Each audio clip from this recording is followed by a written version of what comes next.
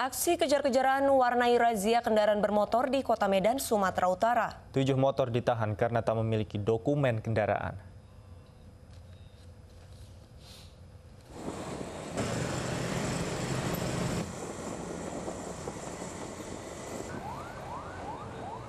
Tim Pegasus Unit Ranmor Polrestabes Medan malam tadi melakukan razia kendaraan dengan menyelusuri sejumlah ruas jalan di kota Medan.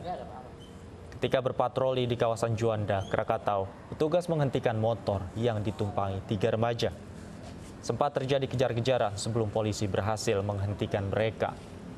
Selain melebihi batas penumpang dan tidak memakai helm, mereka tidak dapat menunjukkan dokumen surat-surat kendaraan di tempat lainnya petugas juga mengamankan sejumlah remaja dengan kasus serupa. Motor milik para remaja tidak dilengkapi dokumen dan plat kendaraan. Tujuh unit kendaraan roda dua dibawa ke Polrestabes Medan.